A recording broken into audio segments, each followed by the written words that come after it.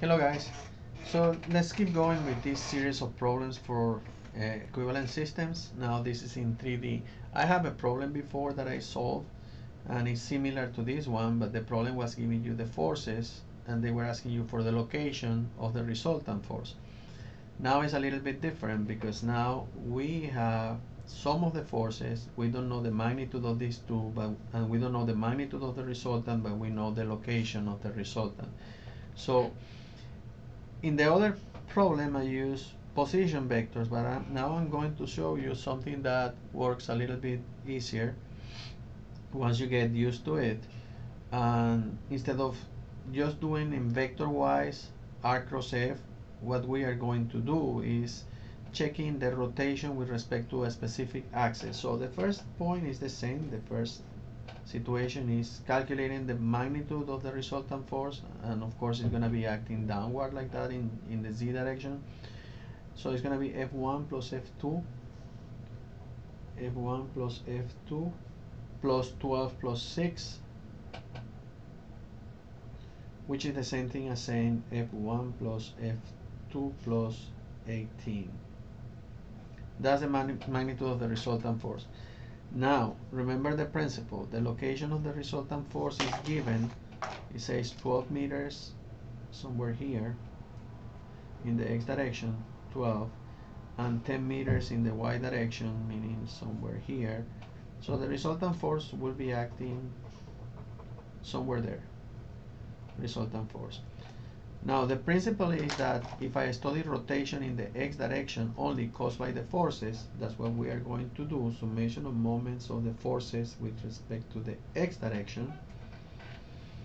Let's start with this force. This force is on top of the axis, hence it's not going to produce any rotation. Now this other force, F2, if I have my axis like that and I apply the force in this direction here, the axis is going to create a moment that is going to cause this type of rotation going negative in the other direction. So the axis will be spinning in this way. And if it's spinning in, spinning in this way, it's entering into the axis, meaning that it's going to be a negative value. So it's going to be F2 times the distance from here to here. And that distance from here to here is how much? In the x-axis, 20. 8 plus 12, 20. So it's going to be 20 and it's going to be negative for the reason I explained. Now you have this force of 12 and the distance is provided here, 8. Once again, is negative also, negative 12 times 8. And now you have this force of 6 here, once again, is negative, acting in that way, so it's going to be 20 times 6 and this is going to be the summation of the forces in that direction. The moment the moment that the resultant force produced in the x direction has to be equal to this, of course. I put force here, remember this is moment. The moment of the force, the moment that the resultant force produced in the x direction it will be by the resultant force and it will be the resultant force multiplied by in this direction multiplied by this distance which is 12 but remember we already know the yeah by by 12 remember we already know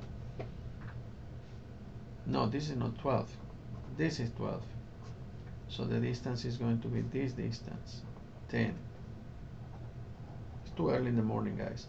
10 so the resultant force multiplied by 10 and it's going to be negative but the resultant force is this. So I can say that this is equal to negative f1 plus f2 plus 18 multiplied by 10 now the moment with respect to the x-axis has to be the resultant force has to be equal to the moment of all the forces in the x-axis. So I can make these two equations the same. And I get negative 20F2, and this is 96, and this is 120.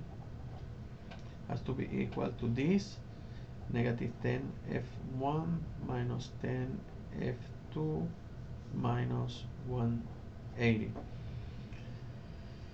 I pass this F2 to this side, so negative 20 plus 10 is going to be negative 10 F2.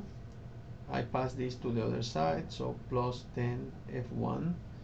If I add this, it's going to be 216 negative. When I pass it to the other side, it's going to be positive 216 minus 180. So it's going to be 36.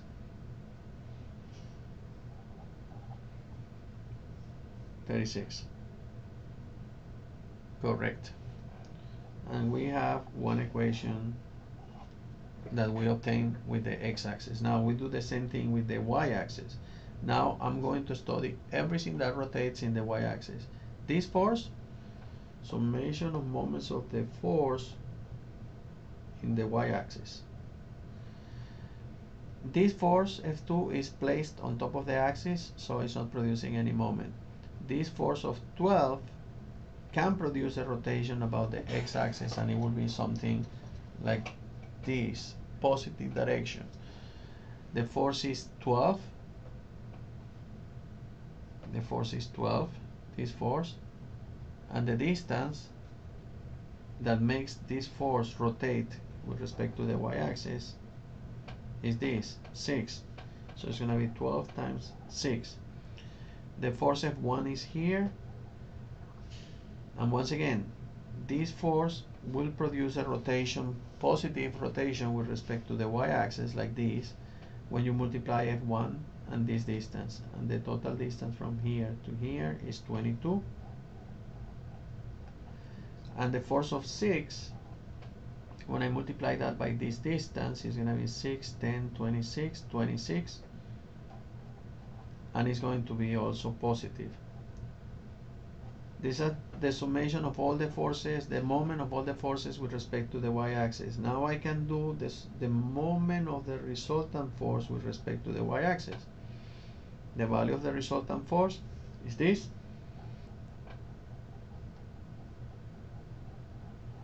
and the distance that causes the rotation with respect to the y-axis is this one. How much is that distance? 12. And of course, it's going to be positive as well. Now these two has to be the same. And if I put them together, then you get, this is 72, let me use the calculator. Calculator.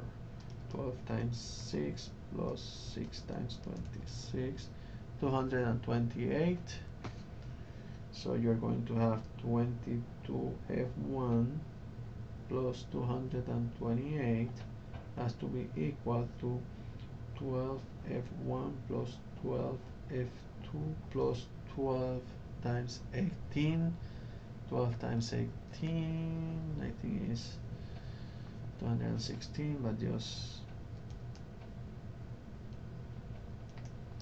yeah 216 and then we can solve pass this 12 to this side and then you get 10 f1 pass this to the other side you get negative 12 f2 and then pass this to the other side and then you get negative 12 and then you get a second equation. Now what you have is a system of two equations with two unknowns.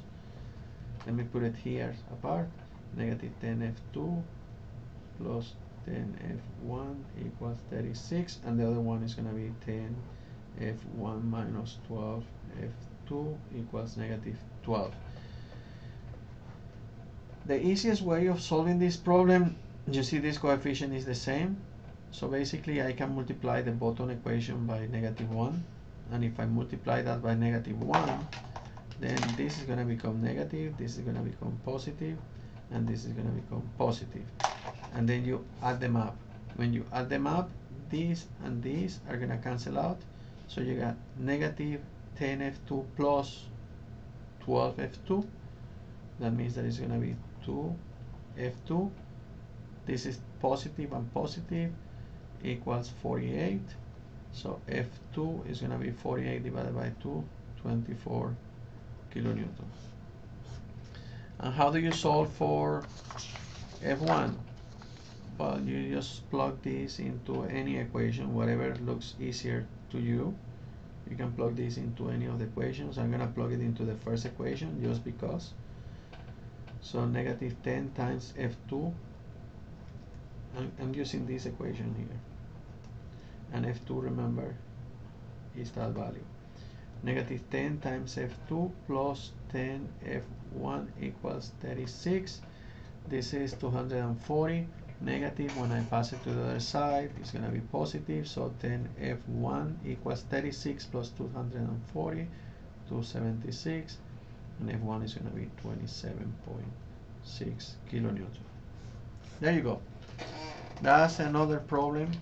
It's the same principle the same way we do it similarly summation of all the rotations as caused by the force has to be the same as the summation of the rotations or the moments caused by the resultant force. I hope that you like it.